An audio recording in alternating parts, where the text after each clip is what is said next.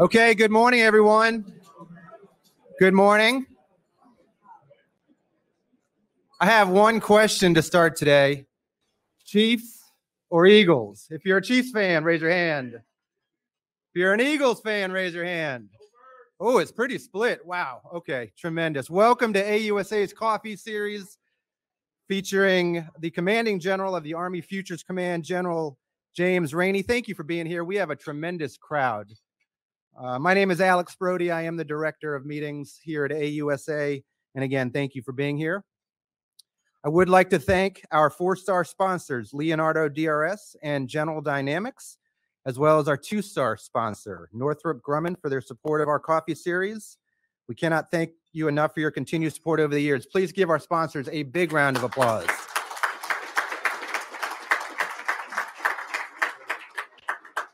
And if anyone is interested in learning more about becoming a sponsor, please reach out to Gay Hudson or Emily Call, our sponsorship team. Emily is out in the registration area, so if you get a chance, feel free to stop by and say hi.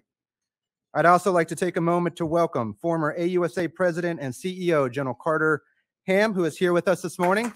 Sir, great to see you.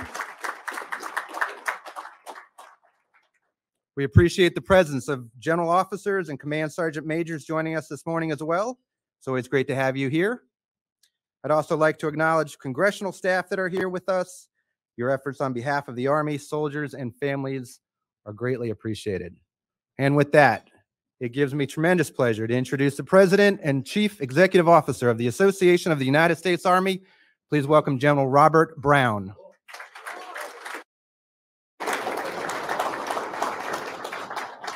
Thanks, Alex. Well, uh, welcome. Great to have you all here. Uh, and uh, I was uh, impressed Jim Rainey would draw this kind of crowd, you know, and uh, but of course he would. So it's a great breakfast. But I do want to point out for those of you who missed physical fitness, a little PT this morning, there's donuts on the table as well. Just add a little insult there, and chocolate covered, I might add as well. But uh, well, thanks for joining us.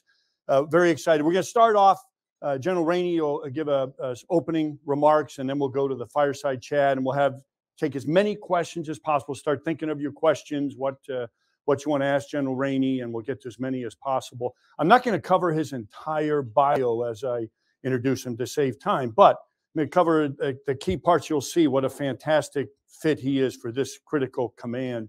Uh, he started off, uh, I want to point out, at uh, Eastern Kentucky University, 1987 grad, a swimmer, I thought he was a football player, but uh, he kind of swam like a football player, I think. But but uh, uh, for the Colonels there, Eastern Kentucky Colonels.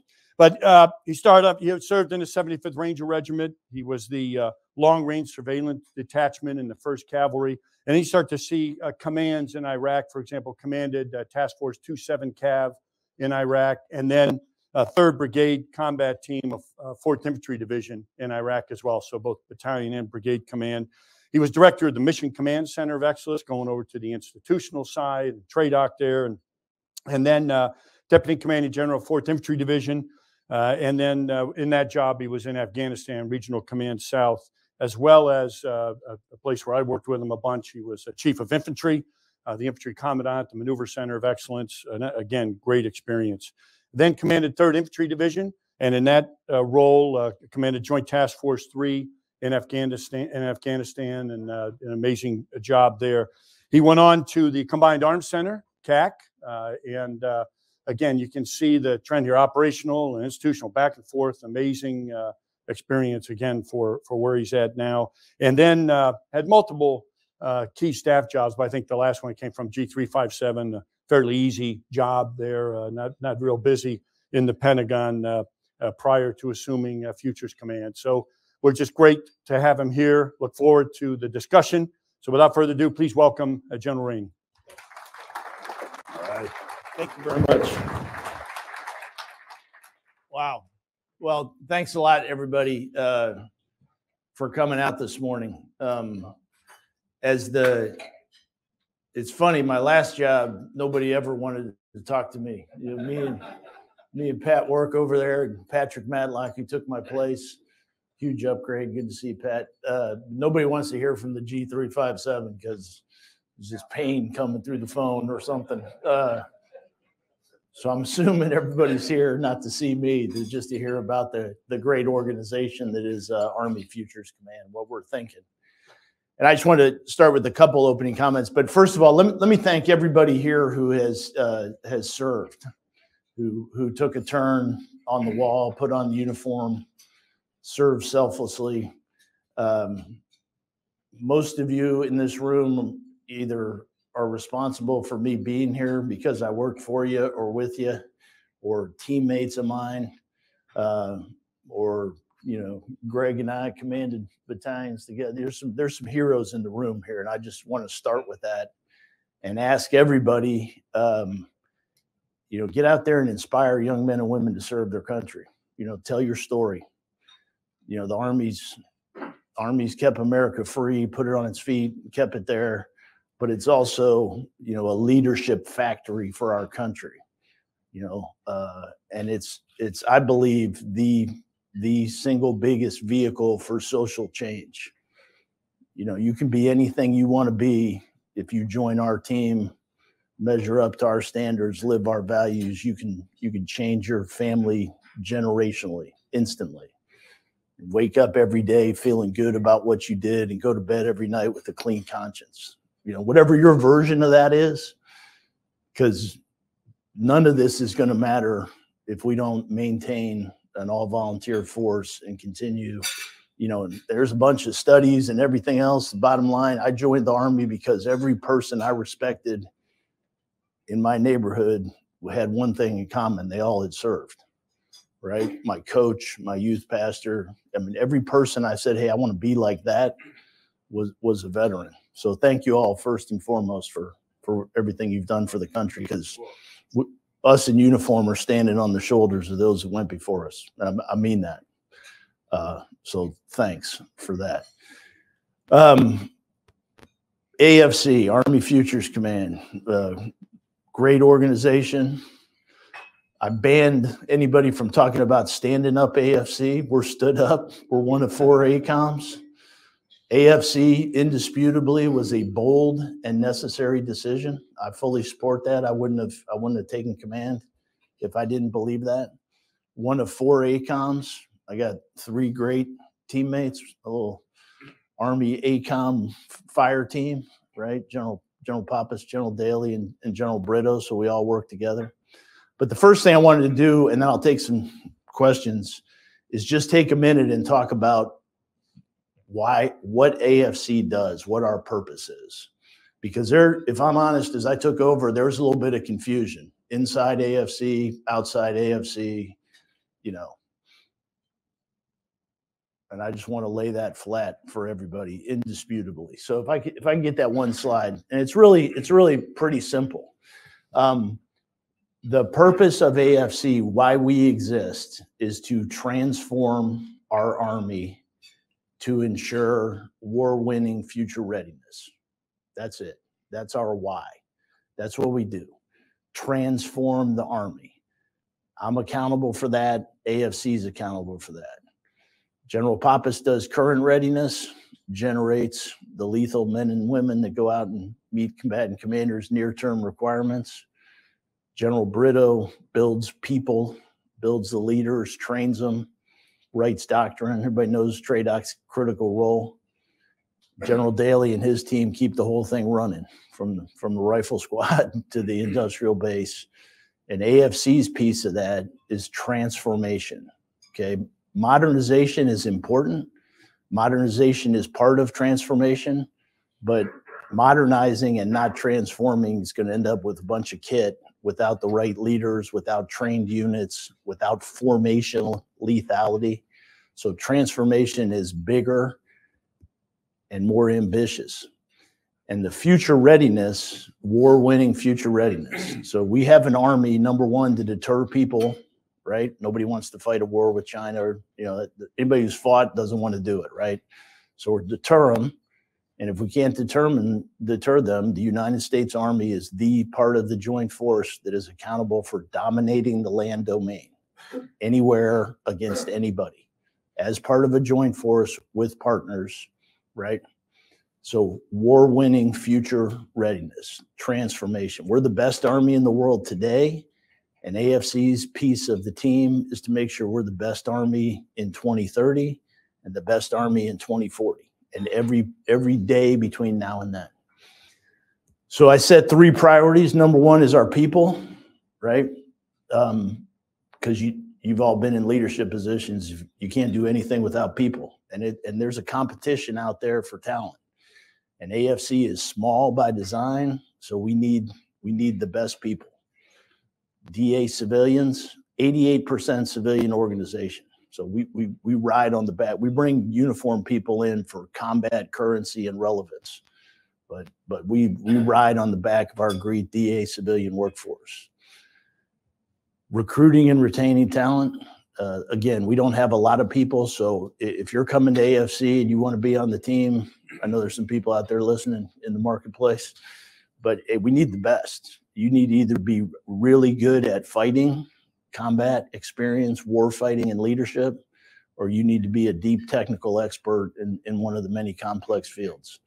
So we're out there fighting for talent. and then the, the Army campaign plan, the Secretary of the Army and the Chief of Staff have tasked us to do two big things deliver the Army of 2030 and design the Army of 2040. And I have shifted the main effort of AFC to 2040. We got to get out further. Um, there's a natural sucking sound back to the left of current ops, acquisition, modernization. I'm talking about transformation. We need to outthink the Chinese, boldly maneuver ahead of them, grab some ground and anchor it so they wake up trying to figure out how they're going to keep up with us. And I think, you know, that's well within our capabilities as an institution.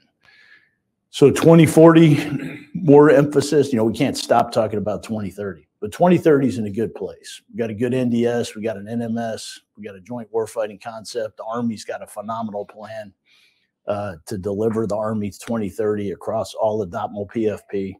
So delivering that, and it's interesting because if you're the AFC, uh, if you took DOTML PFP, uh, AFC doesn't own any one of those things, right? So other teammates are doing it. General Daly's got facilities. Gary Brito, TRADOC, everybody knows what they do. They've got the weight of the effort, people plus doctrine, organizations, training, leader development. but accountability is one of the four ACOMs. The chief and secretary put that on AFC. Synchronize all that, deliver an MDO capable army by by 2030. And I can talk about that more if anybody's interested. But the thing I'm really excited about is is figuring out what because really not not a lot is going to change between now and 30 we're palming now we're taa and now paying attention. The big opportunities is to figure out what the next big evolution of warfare is and deliver formation based solutions to that right? Capability plus capacity plus getting it in the right place. Uh, i'm really excited about that part of my job. Um, and we do about six big things. The future operating environment, that's AFC's responsibility to the Army. So I'm accountable not just for what the enemy is going to look like in 2040. Uh, we, we've, we've got the best intel people in the world, I think, in the Army, led by General Potter and her team. But it's it's demographics, it's it's uh, geopolitics, you know, describing that operational environment in 2040. And we're not going to get it right, but we can't get it wrong either.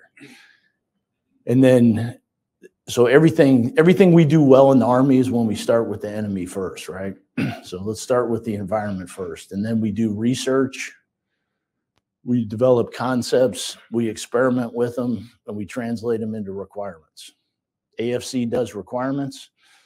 Mr bush my teammate uh, who professionally and personally he and i have a great relationship. I, I worked with him uh, and and have nothing but respect for him and his team he is a presidentially appointed, Senate confirmed acquisition executive of the Army. ASALT knows what they're doing.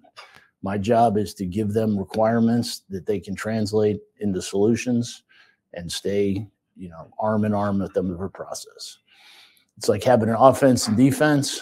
I'm a Buckeye fan. It's great to score 41 points on Georgia, but if you can't hold a 14 point lead, it doesn't matter, right? So you got to have an offense and a defense, right? So it's a team. I, I, really would would just tell everybody that that uh, uh, you got to trust me on this. There, there is no drama with AFC and ASALT. Uh, it's not helpful. It's not helping the Army.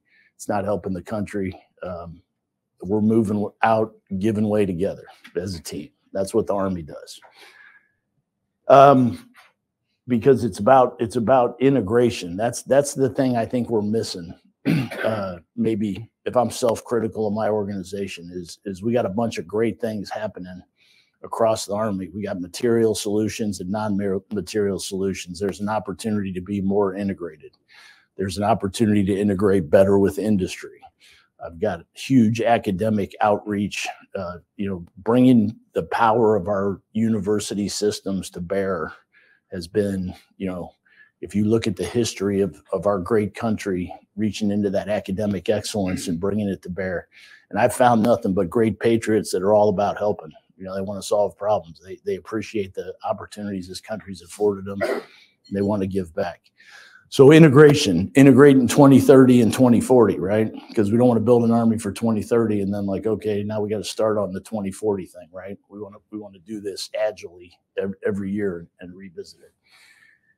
Analytic solutions. So so the Army has the best analysts in the department, and we have more of them. Um, and that's not a criticism of anybody else, but but bringing the analytic capacity of our Army to bear to be able to defend positions with data is another place that that I've asked our team uh, based on some guidance I got from the chief and the secretary, right? Because I said so might work as a parent. It doesn't work in the building, and it doesn't it doesn't work, it doesn't work as a parent if you have my kids. But the uh, you know that's not a way to win arguments, right?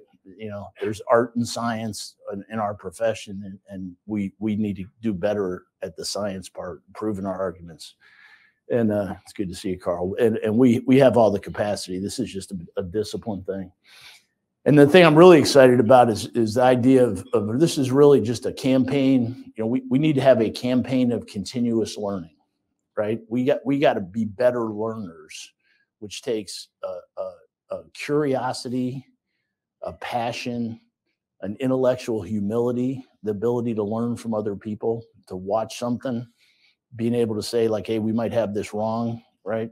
So the idea that things like Project Convergence, the real world operations that are going on in Ukraine, um, everything we're doing is an opportunity to learn, strengthen your argument, strengthen your position, and end up in a better place. So that's all I really wanted to say opening. And uh, if it's okay with you, sir, we'll we'll move on to earning my breakfast.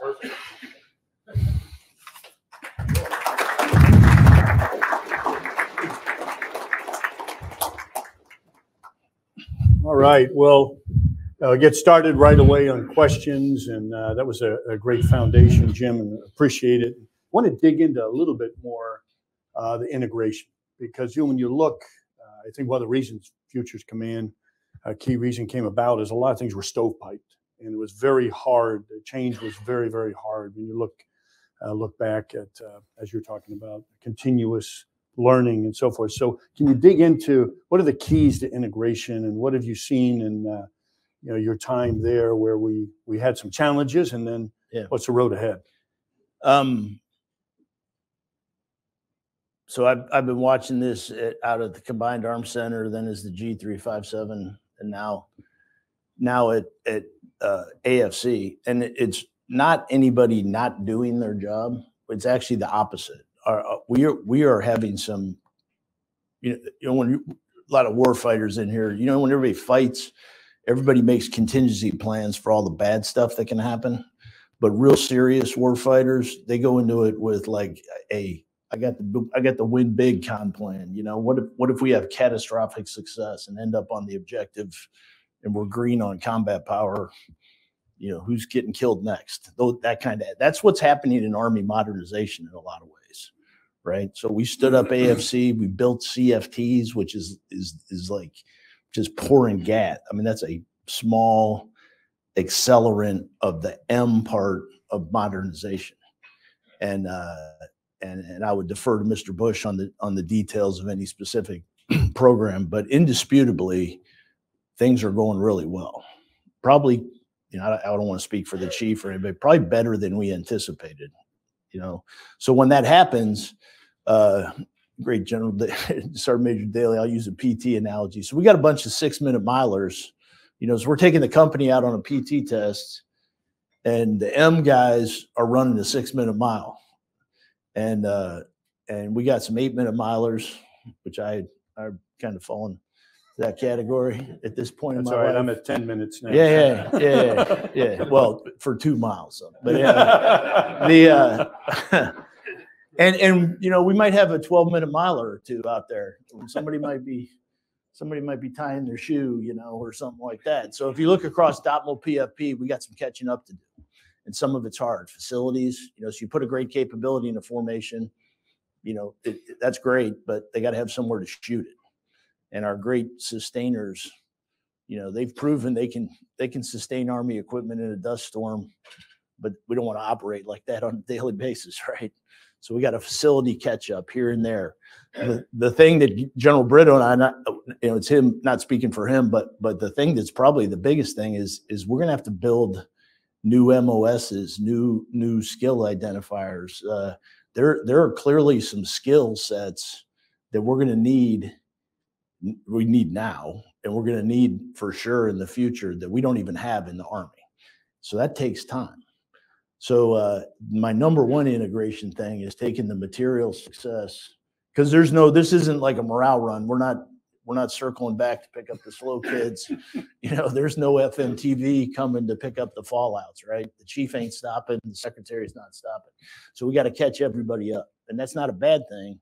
And we got it well in hand, but it's going to take a little bit of time. So integration across DOTML PFP for delivering the Army of 2030 Right. that's that's you know that's the thing because we're going to put materials into the formation starting this year and whether it's material showing up or genuine capability in a formation is what's at issue for all of us um, uh, the G357 of the Army kind of does that Mhm. uh, for the Army, and, and the four ACOM commanders are accountable. Um, going out a little further, I think it's it's doing a better job of of integrating those those six things. Mhm. You know, integrating a, a clear understanding of the operating environment. We do great experimentation. We're writing a new Army operating concept. That's that's probably the most important thing that AFC is doing. Um, more to follow on that. Um, and again, we got incredible talent and great teammates working on that. But we got to come up with a concept, translate that to require what we Mhm. think we need across DOTML PFP, go out, experiment, confirm the, what we need, write good requirement documents, not just material requirements, but Mhm. we got to tell General Brito and his team, hey, we got to build these kind of leaders. You know, this is what does an MDO what does an MDO range look like? You know, you, you guys all dealt with the great range control guys in the world, uh, trying to get them to let you do a platoon live fire at night. Tell them you want to drop munitions from a quadcopter and ask them. They'll they'll you'll need the paddles, you know, to, to resuscitate. So we got, and that's that's a very simple. The Buffalo Soldier Range out of Huachuca. I mean, fascinating capacity and capability, innovation, those kind of things. Mhm. And then and then how do we man it with the men and women that have always made us, you know, our asymmetric advantage is people. Mhm. It's always going to be people. So we got to man it, we got to sustain it, we got to retain it. Um, so other than that, I got it. I got it all. It's easy. Yeah. Yeah, Well, yes, that's sir. it's a great analogy on the on the the, the uh, pace. Uh, how about I've heard you use the term formation based requirements. right. What are what are you getting at there, and how does that impact? Yeah. Uh, haven't figured it out totally yet, but but but uh, so if everybody bears with me, uh, we we in the in the army have a process to acquire things. Right, it's a reality. I'm not, I'm not naive. I don't think that's going to change. We buy helicopters, we buy vehicles, we buy radios, we buy weapons. Right, we buy things, but we don't fight things. We fight formations. So I'm not saying that we're going to come up with a new requirements document for a rifle platoon or a tank company. It's more a way of thinking, sir. Mhm. But you know, we don't want to replace the tank with the tank Mhm. Per se, right? we got a tank company that has this many stowed kills, that takes this much gas on this schedule, that weighs this much, that takes this many incredibly talented young men and women, Mhm. right? What's another way where I can get that many stowed kills, more lethality, more survivability, more deployability, Mhm. right? So I don't think I don't think there's a if, if I don't we don't want to just replace weapons with weapons. Mm-hmm. We, we want to build more lethal formations. That makes sense. And so I think if we talk that way, and I, I'm an optimist, I, I, I I've gotten pretty steady hundred days worth of.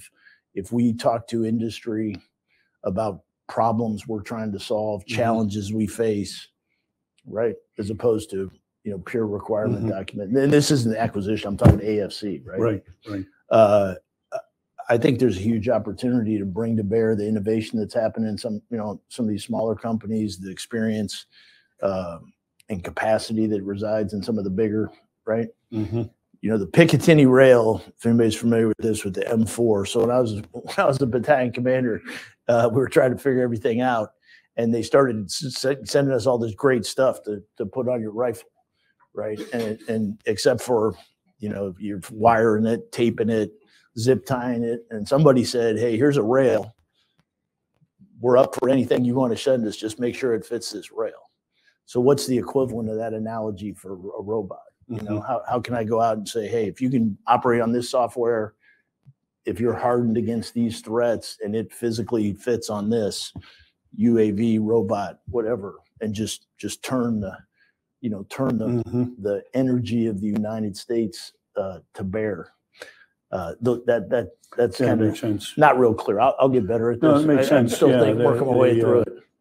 Yeah, uh, well, anybody who's dealt with the, you know, modernization, that you can, exactly what you're talking about, the, the formation based makes sense. It's not the pieces and parts, it's going to be the total, no doubt about it. Now, another thing that's changed significantly is, you know, the ideas used to come from within the Department of Defense, Mhm. and then they would migrate outside. And now we know the ideas come from industry and the small businesses you were Yeah. talking about and, and great industry leaders out here. How does Futures come in? How do you get those ideas now? Because I think that's one of the biggest challenges. What, what has uh, Futures Command done to make that easier to, to integrate that flip of the system, if you will, which we were all struggling with before So- Futures Command? Yes. So I'm I'm new and not a criticism of anybody or anything. I think I've gotten pretty steady feedback that we could do a better job of iterating and providing feedback and opportunities to collaborate. Um, we've gone out and in, in fairness, we've gone out and asked industry to do something. They've brought it to us. We've been slow to provide feedback. So that's, you know, talks cheap, but that's something I'm committed to, to doing a little better uh, where I thought you were going, that is the innovation that's happening inside the formations. Yeah, That's what's really, you know, like the software factory. Well, in, in software factory inside, that's that's an AFC innovation thing. Yeah. Uh, phenomenal. We don't know what we're going to do, but we indisputably know we need, you know, we need we need to up our data game, Right. right? So the Right. fact that you go out to a 1.2 million person army, there are people that can probably do anything, right? Mhm. I was in in a situation and uh, I said, you know, I, I went to my platoon sergeant and said, "Hey, we need somebody that can hotwire a car and somebody that can drive a bulldozer."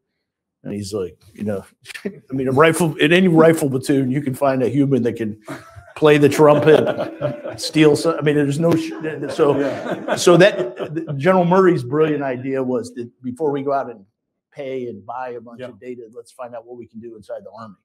So the software factory, and then also at that little higher end, what's going on at Carnegie Mellon. Mm-hmm. Uh, we're, we found we got a lot of lot of talent in the army uh, to translate that. But what I was talking about is is the closer you are to the getting shot part of the army, Mhm.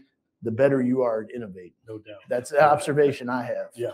Uh, you know, the hedgerow, the famous like hedgerow story Right. was an E6 from Chicago who was a heavy equipment operator. Sergeant Culin. And yeah, and the difference between him and everybody else was he was going to get killed, him and his teammates, if they didn't figure it out. So he got a blowtorch. The rest is history, right? When we win World War II. So that's happening all over the place in the Army. So the soldier touch points get, you know, as we go through an, acquisition effort or a modernization effort or a transformation effort, more touch points. And then uh, I just was at Scarlet Dragon last week down at 18th Airborne Corps. right? I'm I, I don't care who I, I'm less interested in role who has what roles and authorities. What I'm interested in is who's got the best ideas. Yeah. Right. Because because if you don't care about who's doing what, you just care about the Constitution and 18 year old men and women. We, Mhm. We're going to figure this out. But there's great innovation happening all over the army. Now at the same time, you know you can't be so open minded your brains fall out. So if if, if we got we can't have everybody making their own rifle platoon. You know, at some point in right. time, me and Brito and Papa's got to kind of, okay, you know, here's here's what we're going to look like. You know, we got MTOs for a reason. So uh, there's a little bit of that, but but I'm I- I think there's I think the people that are going to figure it out are the men and women that are that are leading formations right now. Mhm. So, Well, and, and uh, as you mentioned, I think, you know, what's unique with, with Sergeant Culin, what other army would that idea have come from that E6 on the beach at Normandy and made it all the way up across the entire formation Yeah. to cut through those hedgerows and, uh, you know, and be successful. And it's the same challenge today. How do you, you know, that environment where you mission command and empowerment where they can, they can get at that level. Yeah. and the, you know, and you know the NCO Corps the well, that's the secret sauce. Yeah, That's what exactly. everybody wants. People buy our, our kit. They really they can't buy our NCO Corps. That's what everybody Right. would buy if they could. Right. Let's go to questions from the audience. uh,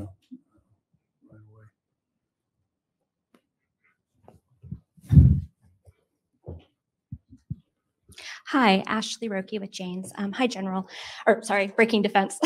um, you mentioned you mentioned Ukraine and requirements.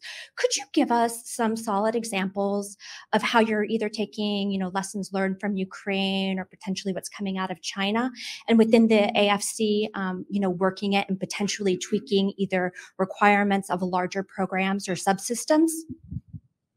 Yeah. Um, with a bunch of caveats. The uh, so people ask, what are we learning from Ukraine?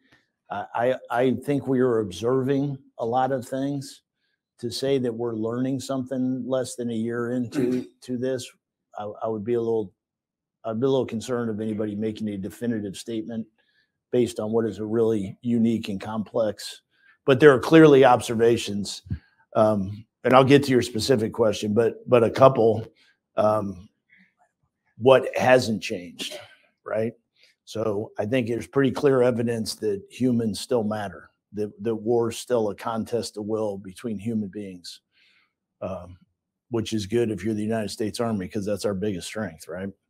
Um, almost it, it would be hard to convince me that that land isn't still the decisive domain right by watching this all the domains matter we're a joint force we- can't win without everybody but but but this idea that land's not important is is you know you, you'd have a hard time linking that to anything that's actually happening in this horrific war and human suffering because that's where all the people live uh, so that hasn't changed. What has changed, uh, and we were kind of seeing this, uh, but it, it's just getting coming out in spades. The biggest thing is is this is we are going to operate under constant observation and in constant contact. That is a big change. Uh, we, we all grew up talking about IV lines and probable lines of contact. That that's that's kind of irrelevant.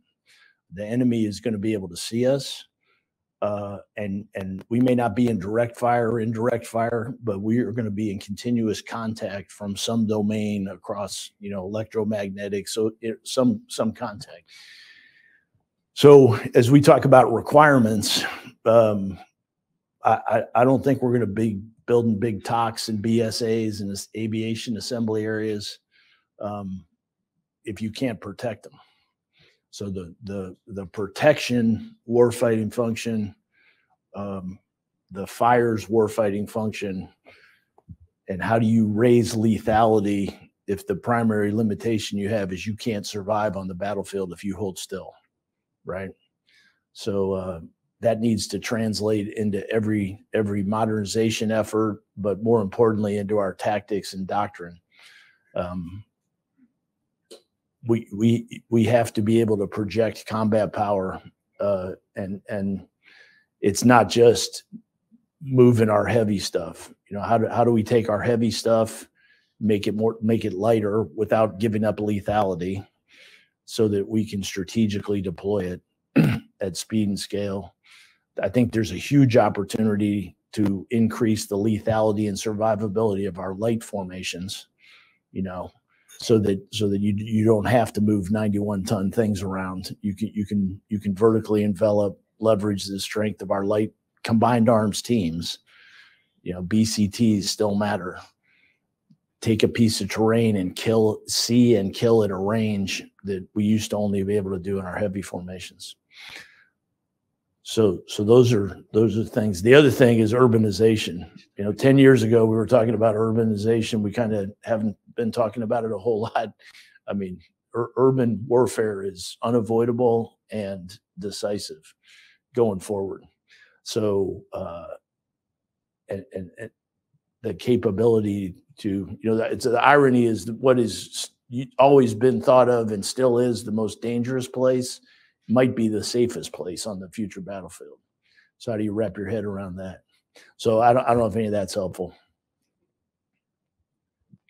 Sure. Thank you very much for uh, being with us uh, this morning. Hello. Uh, my name is uh, Colonel Peter Nieuwenhuis. I'm the uh, military attaché from the Netherlands. Uh, can you elaborate a little more on partner cooperation in Project Convergence? Uh, we're having some difficulties to getting in. And uh, also in your 100 days letter, there was not much mentioned about uh, partners. So can you elaborate on that, please? Uh, yeah. Um, so there aren't a few certainties about the future. One of which is we're going to fight with our great partners and allies. I'm certain of that. Uh, and and General McConville and our secretary are are adamant about that. Project Convergence is one of a bunch of ways that we work with partners and allies. Um, we started small. We did U.S. only. Really, we did Army only. Then we did U.S. joint. Then we did a little bit of partner stuff. Uh, the last time we had partners that were involved and partners that came and observed. We're in the process of uh, working the next capstone event, and the, the chief has given me guidance to integrate partners to the extent possible. There's some physics, you know. There's there's a cost. You can't. You know, it's not a show up on Friday, do it on Monday. It takes about a year. You got to make your stuff work on the network, which most people can't. But uh, I, I'd be glad to follow up with you on that. But it's clearly within my my boss's intent to integrate partners to the extent possible. One thing about Project Convergence, y'all can help me with. Everybody thinks it's like one big thing every 12 to 18 months.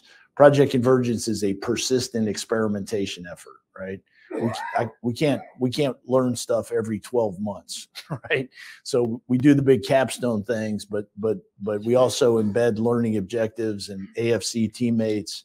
We were down at Scarlet Dragon, so so the great exercises, the stuff we spend money and time on, that candidly is the best place to learn because that's where our best commanders are. So getting out into corps war fighters, the exercise program, Pacific Pathways, the the stuff General Cavoli and, and General Kolasheski, because they're still running, you know, the great aggressive NATO-based exercise program. Um, was down in Tampa working with General Kurilla. You know, if you want to experiment somewhere, the place where the where the live ammo is whipping around is a pretty good place to learn, right? So uh, persistent experimentation of Project Convergence. I think you're talking about the capstone events where we come up and do a, a big thing, which we haven't even picked the date of the next one.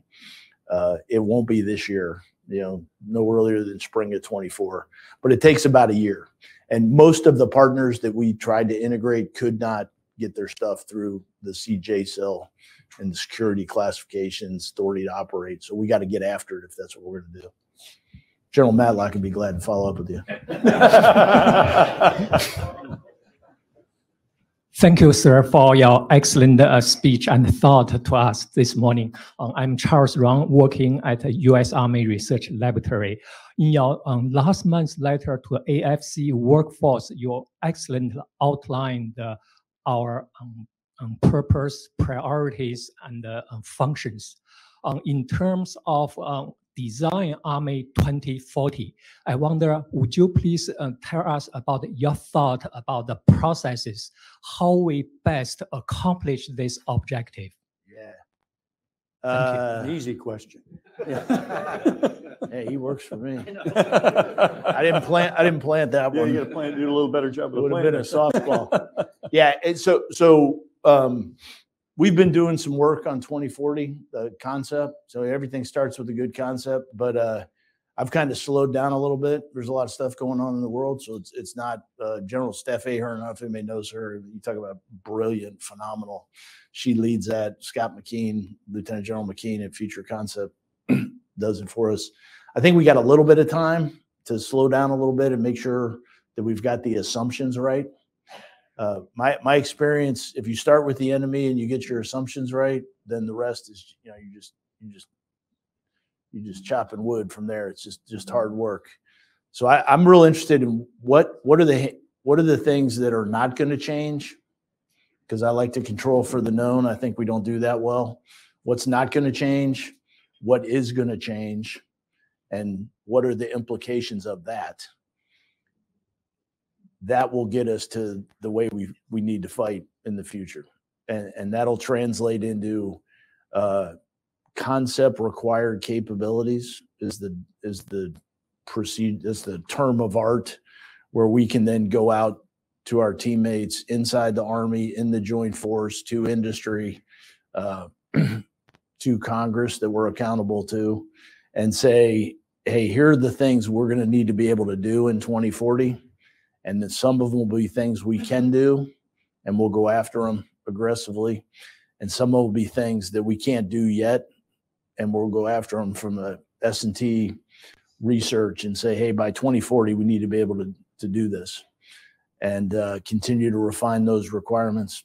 24 everybody's eyes glaze over when i say 2040 especially our great industry partners but you know if you're talking 2040 that means you're you're fielding it in 35 which means you're better be bending metal in 30 we're POMing through 29 and taa in for 30 so i know i said slow down but i meant a little bit not i mean we, we got a we got a sense of urgency uh, and it's a huge opportunity i mean right now. Now's the time to get this.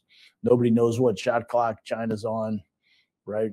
Russia's not going away. You can make a good argument they're more dangerous uh, than they've ever been but but we're we're we're probably at a period where we can accept some risk for a l- short period of time to, to make some bold decisions but we got to get it right or we got to get it 70% right and be able to recover we're wrong. So thanks for that question. General, thank you so much for being with us today. One of your priorities is the Army network, but we know it's really the data that flows on that transport layer that's so very important. Could you comment on how you're working or not working with the Army CIO and G6 regarding making data more what they call VAULTIS, visible, accessible, understandable, etc.? It's all Uh, about the data. So what is your perspective? And I know you're doing perhaps some of this with Yeah. your software factory, but beyond the network transport layer, what about all the rest of the information technology stack? Thank you. Um, yeah, I don't, I don't really have a great answer for that question. To just, to be honest with you, we're, we're still figuring out a lot of really hard problems.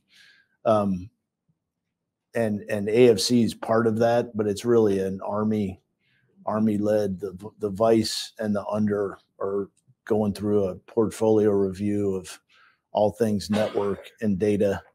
Um, and I'm not I'm not trying to avoid your question. I mean, it, it's it's a challenge. Um, what I'm into is, you know, can we make it work? Can we protect it in a realistic fight? Can we afford it? Can we field it?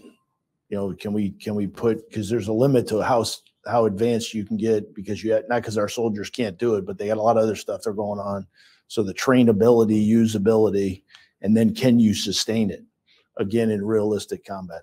So as I'm looking at all things network, which really I don't even like that term, we're talking about the command and control, the requirement to command and control forces in combat, the mission command warfighting function, the sum of things that it takes to do that realistically based on fighting China.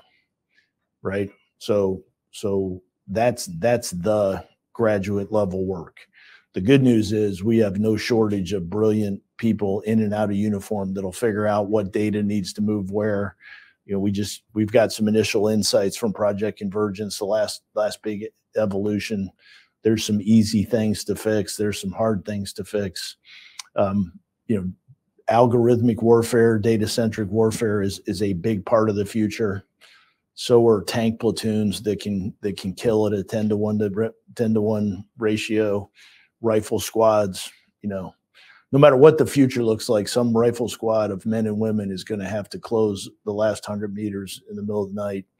Uh, so I don't want to go down the future of war is algorithmic data, precision munitions. That's a big part of it, but uh, we got to deliver an army that can absolutely dominate, and a big part of that is the commanders being able to execute command and control. So not a good answer, but but I appreciate the question. Hi, Meredith Roaten Janes. I was wanting to ask about, in terms of, there's been a lot of concern about bolstering supply chains uh, for the Army, and especially with the conflict in Ukraine. And I was wondering how that concern is affecting your modernization priorities and how you're thinking about moving your objectives forward. Yeah, Thank you. that's great. So back to the observations and and so what what what is striking to me is that developing capability is important, but you have to have capacity. so it we we we're pretty good and we've got to put a lot of energy into new adding new capability. What I've observed recently is that it, it's some sum of new capability plus capacity plus getting it in the right position.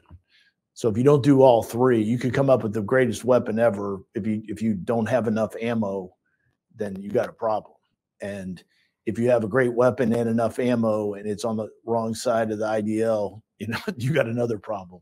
So in a in a resource constraint, right? Some of the best guidance Secretary Wormuth gave is strategic sustainable path right you you get you know this is unlimited right so given a a fiscal reality how do you decide the right mix of additive capability plus capacity plus the ability to get it in the right place and sustain it uh, to translate that that uh, into deterrence and if you have to to be able to win a fight so that that that's how it's shaping my thinking about the future. The defense industrial base stuff like that. I I, I uh, Mr. Bush is is is leading that effort. General Daly, they're better qualified to to talk specifics of that, but it's it's absolutely a priority. We got the best people we got in and out of uniform working on it right now. Sir, we have uh, one more question from the audience, and then we'll turn it back over to General Brown. All right. Hi, Jen Judson with Defense News. Um, I wanted to ask, where do you see Project Convergence going generally? How, what do you see being the evolution of this type of experimentation um, over time? And then how much will this inform the design of 2040 versus validating uh, what your plans are to deliver in 2030 uh, at Project Convergence? Yeah, thanks. So again, persistent experimentation. That that's what we got to do. We can't we can't wait 12 to 18 months to do a big, expensive exercise. Um, we need to do that at the right point in time. And and I've got another 30 days before I owe the chief and secretary an answer on when I think we should do the next one and the scope and scale of it. So it's then the potential is unlimited. I mean, Project Convergence is an Army hosted joint experiment with partners. So, um, some, well, yeah. So, anyways, the potential is unlimited. Um, we had great teammates from the Joint Staff and OSD out at the last one. I defer to them, but the potential to make it more joint uh, and and use Project Convergence as the place where the joint force comes together to, to validate uh, JADC2, which is, is an essential effort. So that's kind of inside 2030. That stuff, if we go to war tonight, we got to be able to do better. So there's that aspect, but it's absolutely fascinating uh, on what we're seeing and the potential. If you so you see something and say, "Hey, we're not going to make that work. That's too complicated in two years." I'm fascinated by it because if it's a great idea and you start talking about, you know, 31, 32, 33, that creates opportunities for us to to kick it into R&D, S&T, um, go out to industry and and and and uh, partner with some folks that are willing to take a little long-term view of solutions.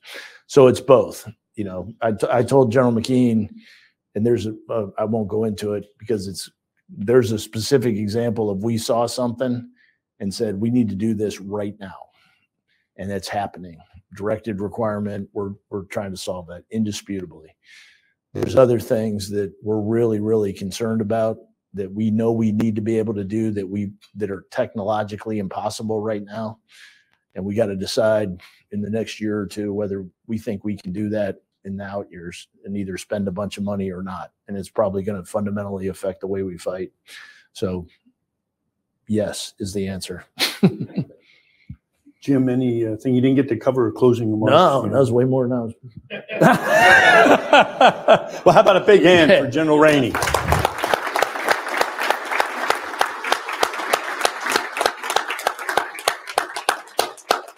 Well, th- again, thanks so much for joining us this morning. There's some events coming up. I want to highlight uh, 14 February, uh, Valentine's Day. Uh, Sergeant Major of the Army Michael Grinston will be here. Always tremendous uh, presentations and uh, and really uh, great discussion. That's uh, on the 14th, the coffee series in the morning again.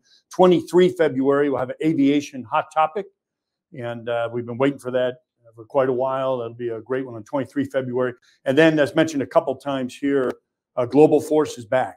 We had last time we were there was 2019, and I was still on active duty, you know, and, at the last one. And it's back, and we're very excited. Sold out down in Huntsville, 28 to 30 March. Don't forget about Global Force. It'll be a great one down there, and uh, and hope to see you there. So again, thanks for joining us this morning. Any questions? Any events coming up? You can go to ausa.org or, or to register uh, for an event. And then let me let me thank our members that are out there. Membership matters. Uh, join the team uh, that uh, helps support a strong army, strong defense uh, for our nation. So thanks for coming and have a great Army Day. Ooh.